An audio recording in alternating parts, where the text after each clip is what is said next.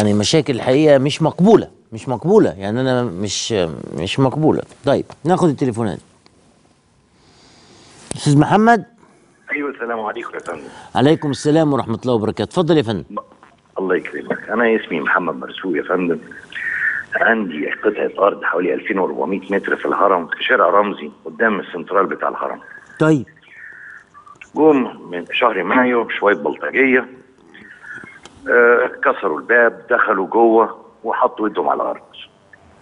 رحت أشوف هقدر أعمل حاجة إيه الحكاية؟ كانوا هيضربوني أنا والسواق بتاعي. خدت بعضي ومشيت رحت القسم عملت إيه؟ محضر. ربنا كرمني وطلع لي قرار من المحامي العام. مم. باسترداد الحيازة بتاعتي. رحت يوم 31 8 مم. ومعايا قوات أمن وسلموني الأرض بتاعتي. كويس. وحمدت ربنا وشكرت الحمد لله. أول ما آه، قوات الأمن مشيت بخمس دقايق. مم. طلع علينا أنا وابني وجوز وجوز أختي وابن أختي حوالي 40 بلطجي. وضرب نار وسيوف لدرجة إن حوالينا سبع عمارات كان النزول كلها بتصوت في الشارع. حصل ضرب نار غير طبيعي. ناس ضربونا بسيوف. جوز أختي في مستشفى دلوقتي. راسه مفتوحة. بين الحياة والموت؟ يا ساتر يا رب. ده الكلام ده إمتى بقى؟ الكلام إمتى اسمع؟ يوم 31 8 يا فندم الساعة 31 آه، 4 الظهر. ده, 8 ده من ثلاث أيام. من أيوة. يومين. أيوه يا فندم. مم. الساعة 4 الظهر؟ 4 الظهر. في شارع رمزي؟ شارع رمزي فرق قدامي الكنيسة. م- متفرع منين شارع رمزي ده حضرتك قلت لي؟ من شارع الهرم فرع من شارع الهرم. جوه مت- آه، آه، شارع رمزي ده قدامه سنترال الهرم. شارع رمزي ده قدامه. سنترال الهرم؟ يعني إحنا نبعد عن شارع الهرم حوالي 80 متر 100 متر. طيب وبعدين دلوقتي إيه اللي حصل بقى في يوم 31 8 ده؟ دخلوا علينا البلطجية دول تاني اللي إحنا كانوا سرقوا مني الأرض. خدوا الأرض القرار. تاني آه طلع لي قرار استلم الأرض البوليس جه سلمني الأرض. هم خدوها تاني. بس الفرق دلوقتي إن جوز أختي في المستشفى بين الحياة والموت. طيب. آه الغفير بتاعي ضربوه بالسكاكين والسيوف أربع خمس في أربع خمس حتت. ابن أختي ضربوه بالشوم كسروه. وأنا رحت تاني عملت محضر تاني. وأنا مش عارف كده إزاي. يعني يعني أنا استغيث بوزارة الداخلية استغيث بالنائب العام ووزير العدل. قلوب البلطجية دول عند حدهم. طب أنت لما رجعت. طب يا أستاذ محمد لما رجعت الاسم لما رجعت الاسم تاني تبلغهم إن حصل الاعتداء عليك تاني ادوك أيوة. قوة تاني ولا ما ادوكش بقى؟ لا قالوا لي لازم ال- الورق يروح النيابة. الورق راح النيابة عملنا المحاضر ومستنيين بقى قرار إيه من المحامي العام. أنا بسأله أنت مش معاك آه، مش معاك ما يثبت إن أنت لازم تاخد أرضك تاني؟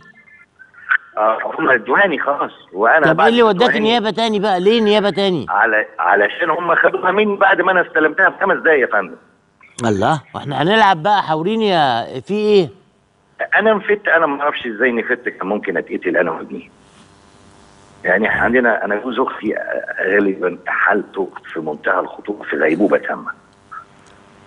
في في في مستشفى دار الفؤاد لا رب ربنا يشفيه لك إن شاء الله ويشفيه لاخت حضرتك وإن شاء الله يقوم بالسلامة ولاولاده آه، أنا مش عارف أقول لك إيه يا أستاذ محمد والله بس مشكلتك هي بتتذاع على الهواء مباشرة للسادة المسؤولين في الهرم في الجيزة.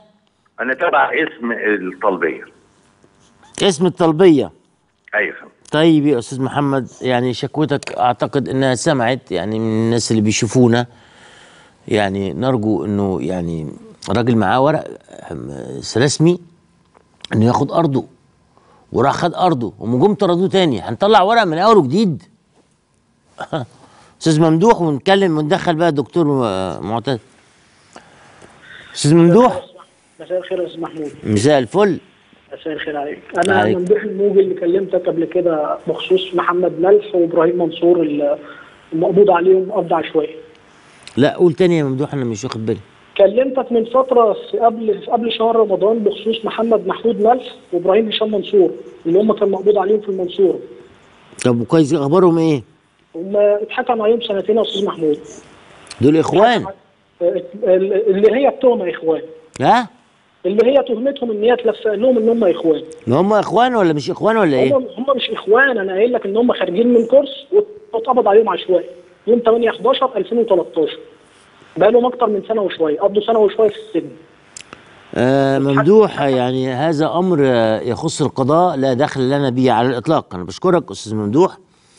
أنا آسف ما أقدرش أعمل لك حاجة لأنه ده القضاء أصدر آه قراره وحكمه وإحنا ما نقدرش نتكلم في هذا هذا الأمر. يحتاج إلى محامي في الاستئناف في مش عارف إيه في النقض في الحاجات دي. نحن لا تعليق لنا على الإطلاق على ما يصدره القضاء من أحكام. إنما أنت أمامك محامي وتروح آه، إذا كانوا أبرياء أعتقد إن القضاء يعني مش مش هيسيبهم يتسجنوا. بس المحامي بقى وتشوف الاستئناف تشوف تعمل إيه. يعني ما نقدرش إحنا نعمل لك حاجة دكتور معتز بالله عبد الفتاح. بعد الفاصل.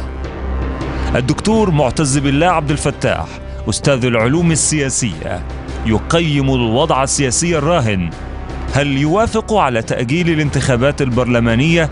ولماذا طرح اسم المستشار عدلي منصور رئيسا للبرلمان؟ كيف يرى علاقات مصر الخارجية؟ وهل يمكن الاستغناء بروسيا عن العلاقات الأمريكية؟ هل يوافق على دعوات المصالحة الإخوانية؟ وكيف يرى تصاعد الأعمال الإرهابية في سيناء وأخيرا هل نسير في الاتجاه الصحيح؟